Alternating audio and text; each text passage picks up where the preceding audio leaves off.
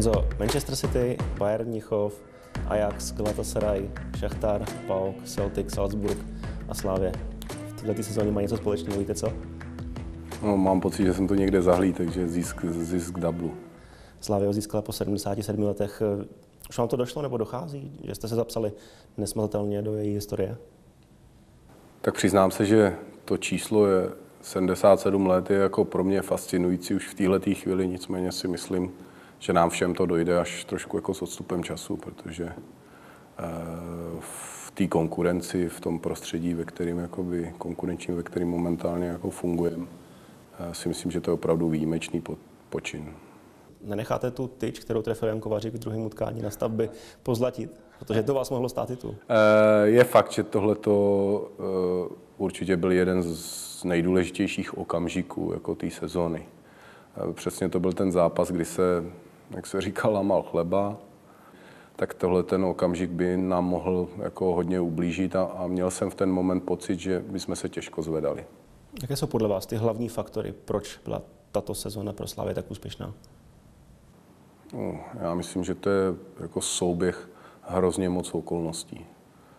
Vezmu to z hora, tak je to samozřejmě to fungování samotné ty kabiny, realizační tým, hráči, šíře kádru, prostě zaplať pámbu se nám až na výjimky vyhýbali zranění a tak dále a tak dále, ale je to i o spoustě dalších jako věcí. Když si to teďka jako promítnu, tak to v období zejména na jaře kolem těch zápasů Sevilla, Chelsea a tak dále a tak dále, to bylo tak náročný jako pro všechny, ale myslím tím všechny jako by lidi, nejenom hráči a trenéry, ale všechny lidi, podpůrný realizační tým, všichni lidi na stadionu, prostě všichni jako padali doslova na hubu a, a, a de facto jako nikdo vlastně nic neříkal. Eh, všichni se snažili vytvořit maximální možný prostě servis a komfort pro ty hráče, který tomu samozřejmě dávají takovou tu pověstnou třešničku jako na dortu, ale bez jako každého z těch lidí, tak, tak by ten výsledek nemohl být takový, jaký je. Vlastně ve spojitosti se Sláví se hodně mluví o Jaroslavu Tvrdíkovi, Jindřichovi Trpišovském. Vy jste trochu ústraní, nemrzí vás to? Vůbec já jako tyhle pocity za A nemám a za B si myslím, že to je správně. Jako bez pana Tvrdíka by eh, vůbec nebyla současná Slávě, protože eh, u toho jsem sice nebyl, ale pozoroval jsem to spouzdálí s panem eh, Šimáněm Slávy vlastně zachránili za minutu 12. A Jindra Trpišovský je jednoznačně hlava toho, co jde vidět nejvíc, což jsou ty výkony jako toho mužstva na, na, na hřišti jako takovým. A, takže tyhle jsou určitě nejvýraznější jako osobnosti. Nicméně si myslím, že opravdu na tom úspěchu se podílí spousta lidí, o kterých se neví. A to vůbec nemyslím jenom ty lidi, kteří se motají kolem toho samotného A týmu, ale jako všechny v tom klubu. Vy jste ve Slávě 1,5 roku, přišel jste z takového rodinného klubu z Liberce. Jaké to bylo, jaký to byl skok přijít do českého vlastně velkoklubu? No, musím říct, že dost velký, konce větší, než jsem jako očekával a přiznám se, že zejména to úvodní období pro mě osobně teda nebylo jako vůbec jednoduché. Dost jsem se jako s tím pral, to nastavení tady uvnitř klubu je sice fajn v tom, že pořád jako si se ta Slávě snaží udržet tu atmosféru té rodiny, ale přes to všechno už je to dneska a musí být vlastně vzhledem těm ambicím a, a tomu, co chce jako podstupovat, jako vlastně velký kolos a jako když řeknu, že jsem první půl rok možná ještě ani nepoznal všechny lidi, kteří tady jako pracují, tak je to jako v porovnání samozřejmě s Libercem absolutně nemyslitelné. Že? Tam nás bylo pár, tady, tady je to prostě jiný. No. Vlastně vaše takové první velké slavistické rozhodnutí bylo odvolání trenéra Jaroslava Šilhavého. Jak těžké to pro vás bylo, protože jste s ním získal titul, ještě když jste byl v Liberci? Tak pro mě to bylo těžké, zejména, jak bych řekl, jako profesně v tom ohledu, že jsem tady vlastně byl týden a já jsem prostě měl pocit v té době, že jak si jako vlastně neumím objektivně posoudit, jak, jestli trenérský tým má nebo nemá pokračovat, protože jsem neznal zjednodušeně řečeno všechny ty souvislosti. Snažil jsem se je navnímat, snažil jsem se o tom jako nejenom přemýšlet, ale nazbírat jakoby co nejvíc informací, ale vlastně jsem objektivně jako neuměl úplně do detailu říct, jestli je to správně, nebo jako můj názor, jestli je to správně nebo není správně. Není nikdy jednoduché vlastně se rozloučit s člověkem, zvlášť pokud vás k němu pojí nějaký jakoby vztah, který s Jardou Šilhavým jsem měl a věřím, že pořád jako mám na druhou stranu. A ten můj jakoby způsob práce spočívá v tom, že se snažím ty věci řešit i ty nepříjemné jako na rovinu a osobně. A v tomhle ohledu to jako nebylo těžké s tím realizačním týmem, protože jsme si prostě řekli a pojmenovali si to, jak, jak to bylo, nebo jak to je, jak, jak tu situaci jako cítíme navzájem. A de facto to vyplynulo i jako jakýsi jako konsenzus, protože jsem jako vlastně i z nich navnímal, že si jako nejsou jistí, jestli má smysl jako pokračovat. Jako trenéra jste si přivedli Dřecha Trpišovského, kterého jste znal z Liberce. Byl o něj zájem? Na co z toho lákal? Tak my jsme spolu v průběhu toho působení v Liberci jako mluvili hrozně moc o fotbale, o tom, jak bychom ho jako chtěli dělat. Důvod, proč eh, já jsem končil v Liberci, byl ten, že jsem už měl pocit po těch pěti letech, že tam jako přešlapu na místě, že už se jako nedá kam hnout. Ty mantinely v Liberci byly jasně nastavený. Tím to jako nekritizuju, ale prostě člověk dojde do nějaké fáze, kdy už jako cítí, že, že prostě přešlapuje na místě. Ten pocit mě naprosto dusil. Já jsem v té době udělal rozhodnutí, že takhle to dál nejde.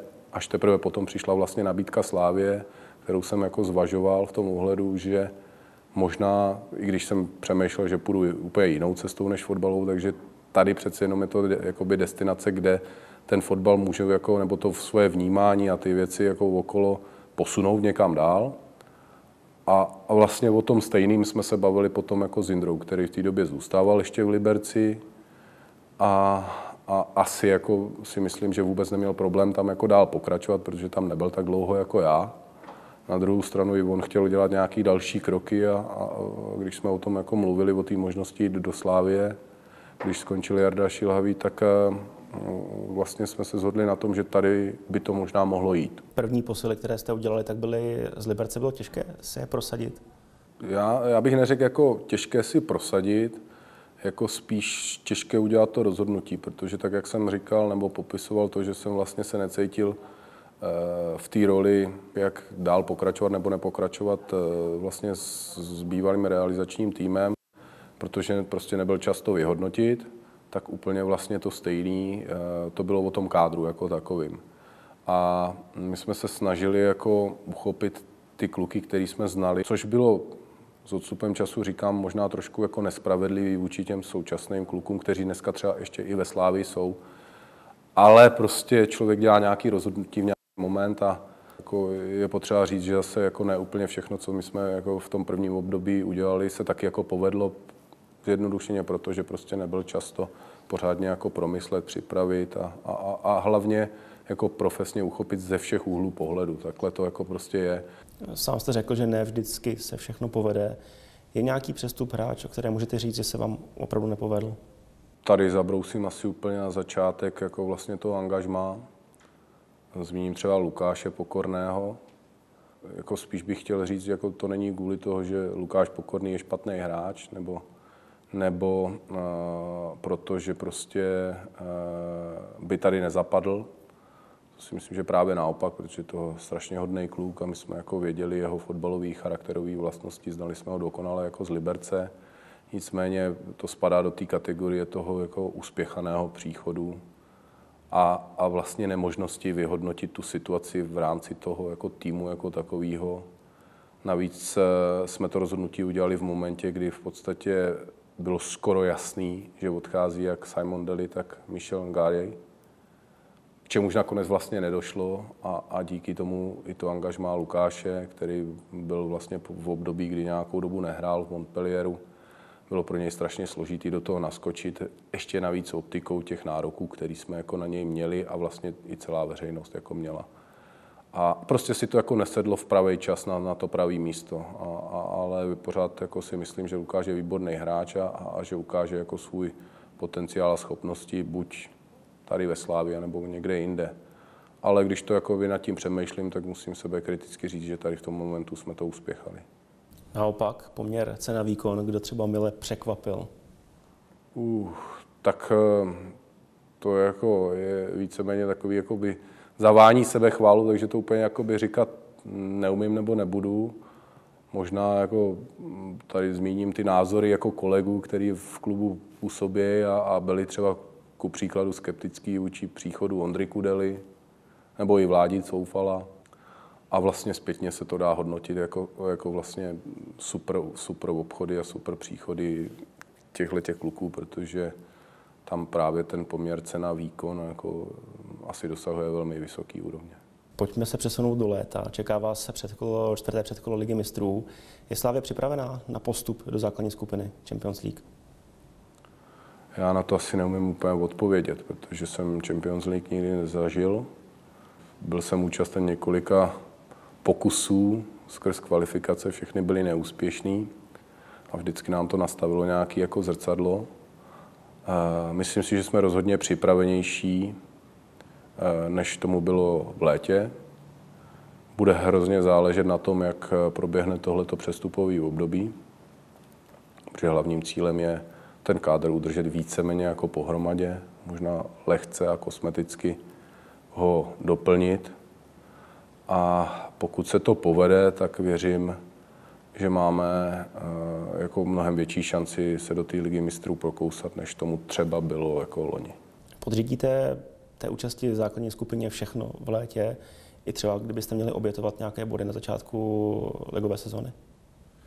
No takhle, ono se to jako dobře řekne, že jo, ale hůř se to potom v tom reále udělá, protože teďka si můžeme jako říkat, že Liga mistrů je to nejdůležitější, ale pak přijde první ligový zápas a vlastně ten je zase nejdůležitější a přijde druhý ligový zápas a ten bude jaký nejdůležitější a takhle půjdeme jako, to je to, co vy novináři moc nemáte rádi, když se odpovídeme zápas od zápasu, jenomže ono to ve skutečnosti takhle je. Ty fanoušci očekávají vždycky v sobotu, že se vyhraje, nebo ve čtvrtek, že se vyhraje, nebo ve středu, kdy ten zápas je a jako nepřemýšlej nad tím, co bude za měsíc. My samozřejmě v rámci skládání toho týmu, přemýšlení o sestavě a tak dále zohledňujeme i to, co bude za týden, za dva.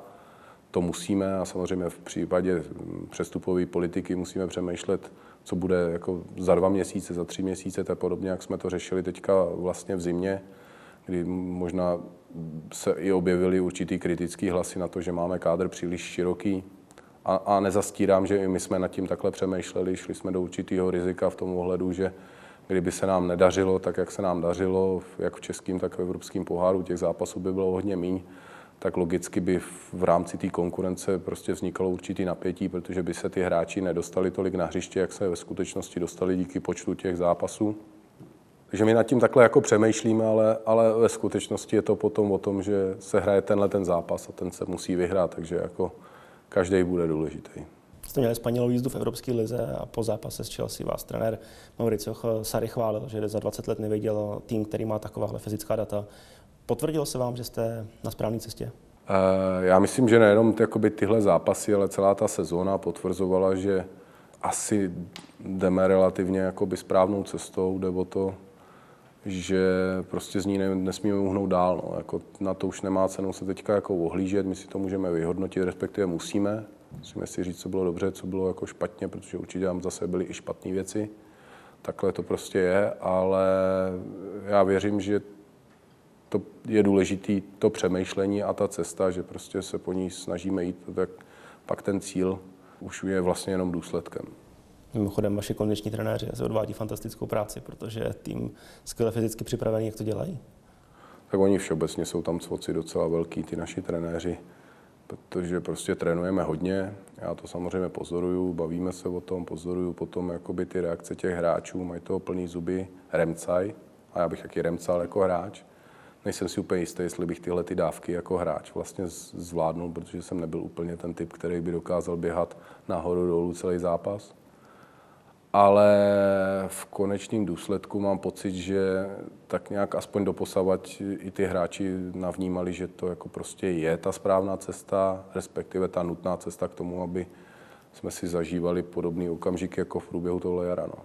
Vlastně Ačko Slávě hraje hodně náročný styl fotbalu. Budete chtít něco takového nastavit i u Bčka, u dorostu, nebo už se na tom pracuje? Už se na tom pracuje. Já věřím, že to dokážeme postupem času jako mnohem víc intenzivnit, protože tohle je jako asi podstata. Pokud mají ty kluci, kteří u nás jsou v akademii, mít šanci na prosazení se u nás v prvním týmu, a podotýkám, že současné nároky Slávě jsou jako veliký, veliký, tak musí už v těch jiných kategoriích mladších být konfrontování s touhletou náročností. Do nějaký míry samozřejmě, ale musí. Bez toho to nepůjde. Dorost vyhrál 19. Celkově, jak jste spokojený s tím, jak se pracuje ve Slávě s mládeží? Tak já bych hlavně chtěl říct, že jako to, že vyhraje nějaký mládežnický tým svoji soutěž, není jako kritérium toho úspěchu. Může to být nějaký signál, protože je logický, že čím lepší hráče jako máte, tak tím je větší šance jako k tomu úspěchu. A druhou stranou podstatou je mít prostě ty jednotlivce připravený na to, aby, aby, aby byli pokud možno v prvním týmu, nebo aspoň se začali objevovat jako v lize. Já věřím, že počínaje tímhletím ročníkem současného 19. se tam ty hráči začínají jako objevovat, který na to ten potenciál mají, ale zároveň vidím, že mají před sebou ještě jako hrozný kus cesty. A je logický, že i když bych jsem bral tu úplně nejoptimistější variantu, že všichni vlastně jsme nějak jako si pojmenovali a zhodli se na tom, jak ty kluky jako připravovat, tak za rok, za rok a půl práce s mladýma klukama Eh, se úplně ty výsledky jako poznat nedají. Takže i ty současní, který vyhráli svoji soutěž a, a já osobně říkám, protože na to chodím, eh, na ty kluky koukat, tak eh, že si myslím, že jsou tam zajímaví hráči, jak zároveň říkám, že před něma je jako velký kus cesty a, a, a skoro si troufnu tvrdit, že momentálně tam není v tom dorostu nikdo připravený na to, aby absorboval už jenom přípravu se současným prvním mužstvem, protože ty nároky a ta intenzita, náročnost, objemy, tom prvním mužstvu momentálně eh, v rámci té konkurence, která tam panuje, jsou tak velký, že by to těm klukům spíš ublížilo, než pomohlo, kdyby jsme tam některý z nich třeba vzali. U vás vlastně v Ačku za ten rok a půl se myhli Valenta, Bucha, Vlček. Trochu vás popíchnu možná Sparta, Hložek, Drchal. Je to věc, na které chcete zapracovat? Zcela jednoznačně. Já bych byl nejšťastnější, kdyby jsme měli polovinu kádru rizích odchovanců, ale tohle jsou všechno věci, které jako trvají mnohem díl. Když bych jako měl zabrousit komentářem do té konkurence, tak když vidím Hloška nebo Drchala, tak mám pocit na dálku, že ty právě tyhle ty dva kluci jsou jako mnohem připravenější na ten dospělý fotbal, než třeba ty naši současní dorostenci. To, v tom je ten jako podstatný rozdíl. A tím neříkám, že ty naši jsou horší. Jen v téhle chvíli jsou zrovna třeba ty dva, který v té Spartě jako v tom prvním týmu jako působí připravenější. Kdo je největší talent v Mládežnické akademii Slávy? Na koho se budou fanoušci chodit dívat za dva, tři roky? jo, to je dobrý. A, a řeknu jméno a, a další čtyři budou nadávat, že se neřekl jejich, to za A, za B, toho, kterýho řeknu, tak přestane pracovat. Nebudu to říkat, ale řeknu, že si myslím, že v současném dorostu minimálně šest, možná sedm kluků mě hr, eh, osobně jakoby hrozně, hrozně zajímá a myslím si, že mají potenciál na to, aby, aby se opravdu posunuli jako nahoru. Ale jak říkám, zároveň bude to chvilku trvat. Kde vidíte Slávy za tři roky? Bude z ní etablovaný evropský klub? To je ten cíl. A rozhodně bychom chtěli, aby sezona podobná jako letos nebyla výjimečná a netrvalo dalších 77 let, aby byla podobná.